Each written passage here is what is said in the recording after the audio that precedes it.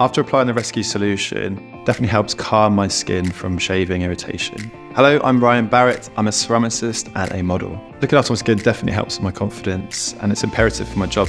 After applying the rescue solution, it really absorbed very quickly it felt so soothing on the skin.